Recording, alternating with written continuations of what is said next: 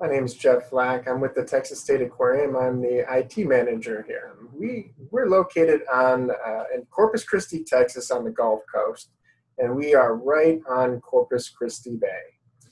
Uh, during the uh, storm uh, such as Harvey, where we are right on the Gulf Coast, uh, concern is flooding, and we are literally right on the water. And we have some exhibits that are outside that contain uh, certain animals that we can't leave them outside.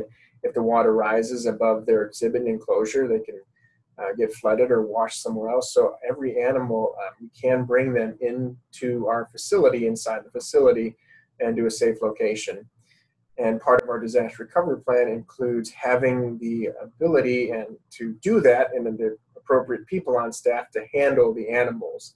So there's a, a big uh, number, large number of people here that stay during these storms. When the storm hit, I was here for about, been about a year since I'd been at the aquarium.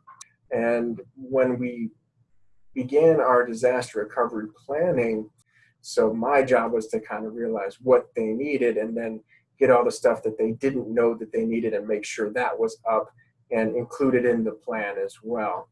There is a, a power outage for an extended period of time. Um, things are on battery backup, so they will remain on and then get switched over to a generator, uh, a gas, a diesel powered or natural gas powered generator that provides power to the entire facility or certain locations of the facility uh, that need that power in an emergency. So establishing your your tools of communication is really important.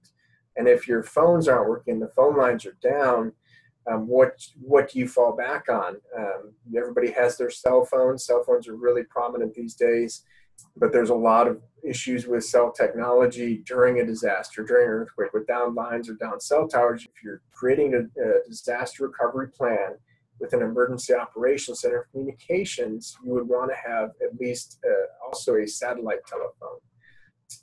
And once you have your power and your phone system, and then the internet.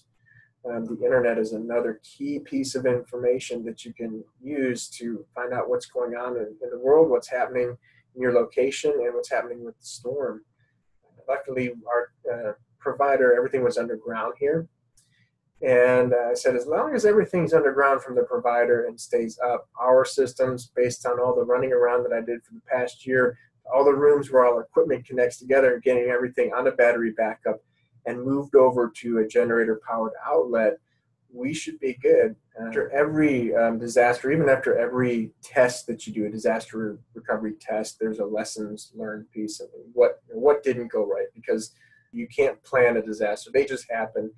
One of the big things that I'm, I'm working on, after, worked on after disasters, is an equipment list, an essential equipment list, and a non-essential equipment list and then identifying out of that essential equipment where could I pull from other areas of the aquarium if, if it was needed um, to replace a, a, failed piece of equipment.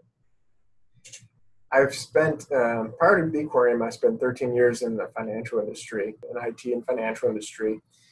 And at some point, I just decided that uh, my goals in life and, and were more geared towards the conservation effort that institutions such as the Texas State Aquarium were doing.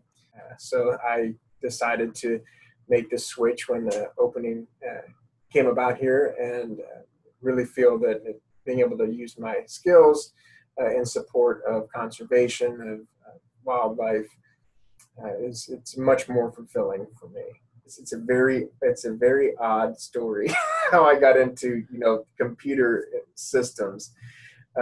So I was um, I was in school for accounting, and I needed uh, I had a computer and I needed more hard drive space for some of my applications for school.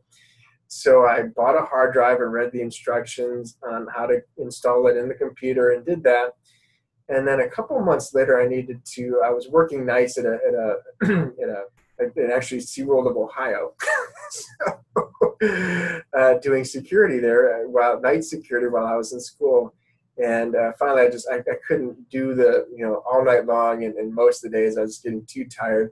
Uh, so they had a position open at the local Best Buy, and it was just to come in and, and basically start cleaning, buffing the floors at like 4 a.m that's fine. It's a lot closer and a lot easier. So uh, I went in for a, an interview, and uh, and they said, "Well, you have some computer experience on on your you know, your application." I said, "Yeah." Like, well, we think you might fit better in the the computer help desk area. They just want to ask you a couple questions.